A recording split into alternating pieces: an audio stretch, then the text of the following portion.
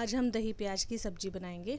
इसके लिए हमने ले लिए हैं तीन टमाटर और इन्हें हम अच्छे से पानी से वॉश करके हमने इन्हें रफली कट कर लिया है और मिक्सी में इसे डाल के हमें इसका फ़ाइन पेस्ट बनाना है।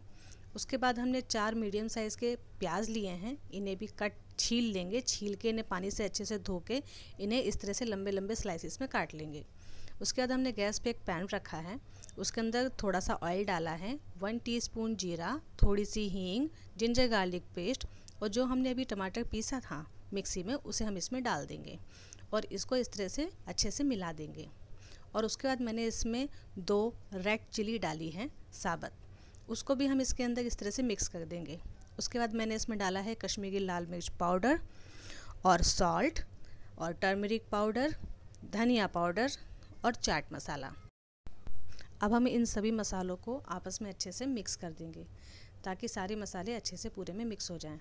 और फिर हमें इसको ढक के दो मिनट के लिए बिल्कुल लो फ्लेम पे पकाना है, ताकि हमारे सारे मसाले अच्छे से पक जाएँ। उसके बाद इसमें मैंने फ्रेश एक कटोरी दही डाली है और उस दही को भी हम इस ग्रेवी में अच्छे से मिक्स कर देंगे, ताकि पूरी ग्रेवी में दही अच्छे से मिक्स हो जाए। और जब दही हमारी मिक्स हो जाएगी, उसके बाद हम, हमने जो प्याज काटी थी, वो हम इसके अंदर डाल देंगे।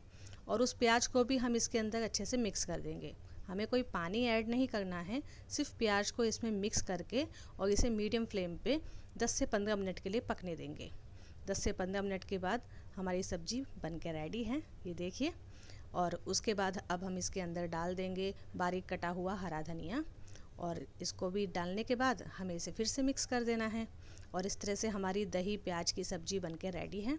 अब हम इसे एक प्लेट में या एक बॉल में निकाल के सर्व कर लेंगे। और इसे खाइए, ये बहुत ही ज़्यादा टेस्टी लगती है।